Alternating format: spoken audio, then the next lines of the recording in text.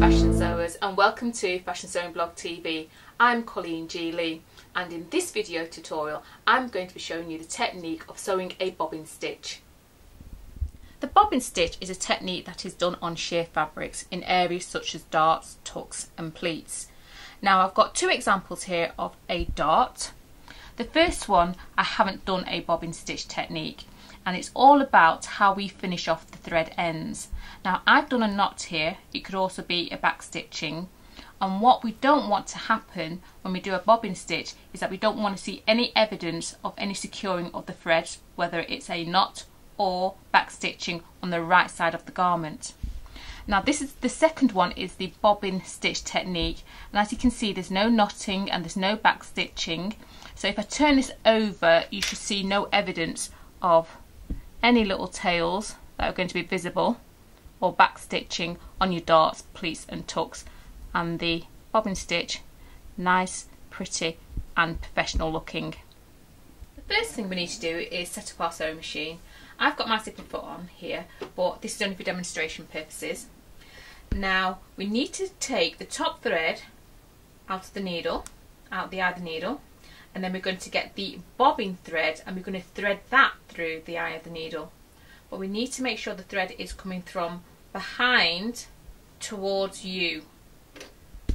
So you're going to thread it through so it comes towards you. Like so. And then once you've done that pull out a good amount roughly about 45 centimeters 12 inches thereabouts. And then you're going to knot both ends together So the top thread and the bobbin thread have now been knotted. We now need to bring the bobbin thread up through the path of the thread, top thread and we need to wind it round the spool.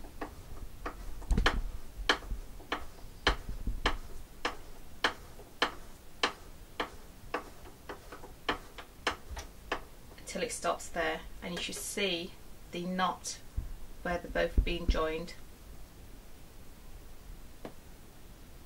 You are now left with just one strand of thread and that is a technique for the bobbin stitch.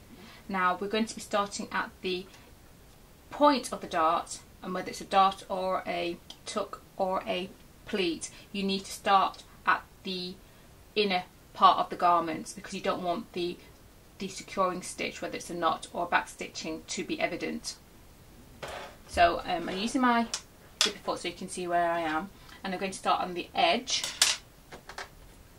Put my foot down and my needle down. And then just start sewing as you would usually do.